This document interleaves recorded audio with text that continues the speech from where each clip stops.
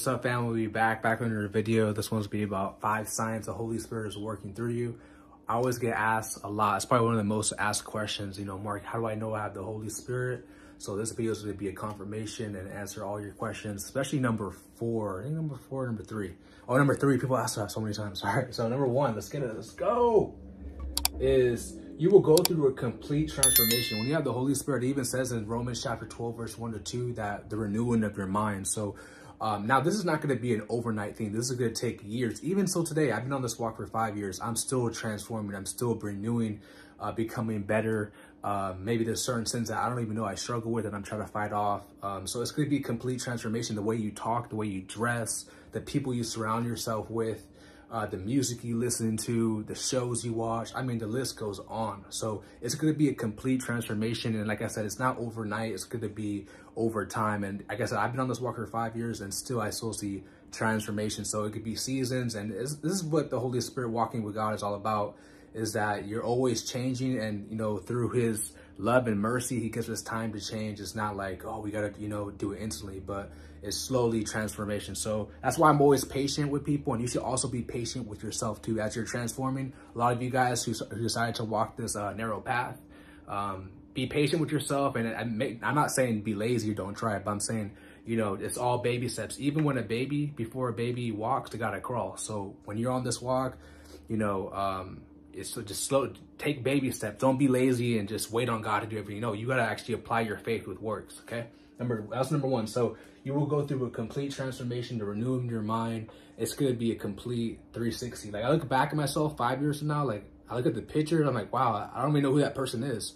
I mean, being born again, that's what it's about. Number two is you will grow more fruits of the spirit. Okay. A lot of people ask me all the time, you know, how do I know the Holy Spirit? So we know what the Bible says uh, in Galatians chapter 5, verse 22 to 23, talks about the fruits of the Spirit, love, joy, peace, faith, uh, meekness, self-control, uh, kindness, um, faith. Uh, I'll leave a verse somewhere up here. So you, I, I, hopefully I'm saying all that right. I, I, I always miss like one. And every time I'm done with the video, I'm like, oh, I forgot that one. Humble or whatever. All right, I'll leave it right here. Okay, so that is the fruit of the Spirit. So when you're bearing those uh, those fruits, that, that clearly is a sign that the Holy Spirit is operating through you. Now, um, just because like you might be struggling with like me, I struggle with patience, uh, long suffering. I'm always in a rush. Like I, I just, uh, I'm always in a rush, right? So that's something that I'm working on even five years from now. So if you're struggling with one, doesn't mean that, oh, I don't have the Holy Spirit. It just means that you got to work on it. We all have to work. We all have to apply our faith to work, to better ourselves, to better, to make sure that Christ is increasing in us and we are decreasing our flesh, um, you know, our worldly passions, our worldly desires, all that is vanity. We got to make sure that Christ is increasing in us. Okay. So you make sure that you're growing more of the fruits of the spirit. Okay. Like I said, this is, it's not to happen overnight. It doesn't work like that. So be patient with yourself, just like how God is patient with you. All right. Number three, is you will be able to test people's spirits, okay? So many people ask me this, like, Mark, how do I test people's spirits? Every time I talk about that on my video, about, you know, knowing about demons, devils, agents, uh, satanic agents, stuff like that, right? People ask, you know, Mark, how do I test someone's spirit? You know, the Bible talks about this in 1 John chapter 4, verse 1. It says, test the spirits because many false prophets have gone out to the world. So one thing about testing someone's spirits, without the Holy Spirit, you can't, you can't have you can't test someone's spirit. You don't have no you don't have no discernment because the Bible says, which I'm gonna go over in number four, that discernment is a gift of the Holy Spirit. Discerning the spirits, that's a gift of the Holy Spirit. So how would you be able to discern the spirit if you don't have the Holy Spirit? That's why I ask you guys all the time. And even the Bible says that if you ask God for the Holy Spirit, God will give it to you freely. And Jesus talked about this. It says that uh, when you know if fathers give gifts to their children who are evil, then God will go give, give gifts to those who ask for it. And I'll leave the verse right there on the screen. So make sure you ask God. Remember, ask and you shall receive. Seek and you shall find, right? Okay, so or knock and it shall be given unto you. Okay, so how do you ask God for the Holy Spirit? And that should be the number one main thing you should be doing. Okay, so then, then after that, then it's a slow process. Okay, I remember when I asked God for the Holy Spirit way back in the days, like almost like eight years ago. It wasn't until three years when I started to really, you know, right, you know, I gotta, I gotta really be all about, you know, repent, really be about this walk, really be about that life, bro. Really be about that life. So spiritual discernment will unlock, okay?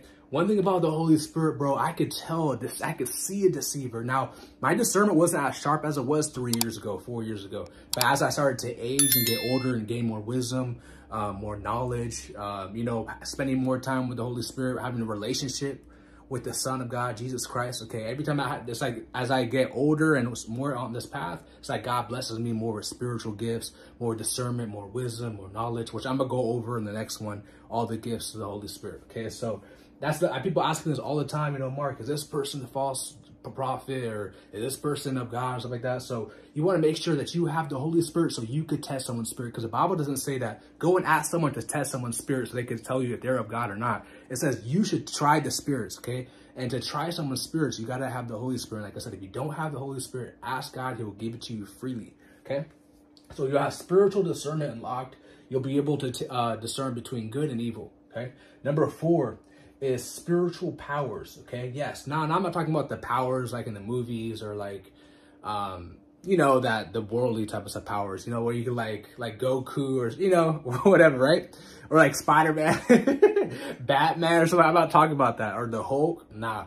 I'm talking about, the Bible says in Acts chapter 1 verse 8, it says that you receive power when the Holy Spirit comes upon you, okay? You'll receive power. What does that mean? It means that, you know how most people of this world, they live in fear. Even when I talk about, when I make videos about like the mark of the beast, um, like the video I made yesterday about, or two days ago about the mark of the beast, um, you know, the new world order, the things they're pushing on the people.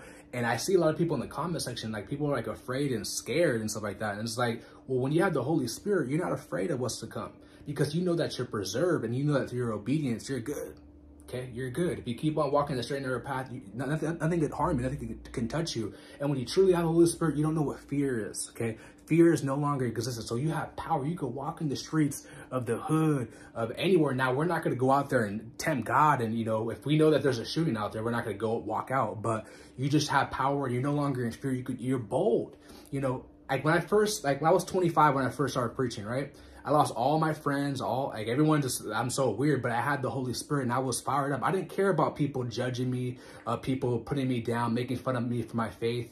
Uh, even though the Bible says, uh, let no man despise the youth. Okay. Um, and you know, when you're in your youth, you know, most people in their youth, they're, they're not really on that path. And so always understand that when you have the Holy Spirit, like you're not going to be afraid to get online, make a video, or maybe if you're led to street preach, hit the highways and byways, you're not going to be afraid of that. Okay. And Next one up was number four too as well, but it says the gifts of the Holy Spirit. Now let me read this verse to you guys. This is in Corinthians. This is in Corinthians chapter 12, verse 7 to 12. Uh, so 1 Corinthians chapter 12, verse 7 to 12.